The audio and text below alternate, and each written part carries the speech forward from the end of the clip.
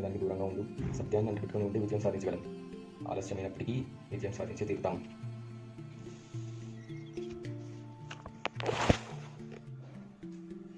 What's going on guys so ఈ వీడియోలో నేను చెప్పేది ఏంటంటే అసత్యమైన మార్గంలోకి ఎప్పుడు వెళ్ళదు సత్యమైన మార్గంలోనే వెళ్ళండి. ఆలస్యమైనప్పటికీ అదే మీకు విజయం చేయకూడదని చెప్పాను.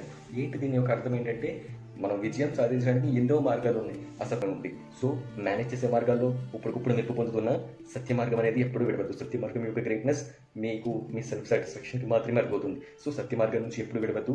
అండ్ మీకు కష్టమైనప్పటికీ ఎంత తిక్కు తింటున్నప్పటికీ మీ సత్య మార్గం నుంచి ఎప్పుడు డైవర్ట్ అవ్వకండి. So remember this guys so నేను విడవద్దు. So be strong be brave all the best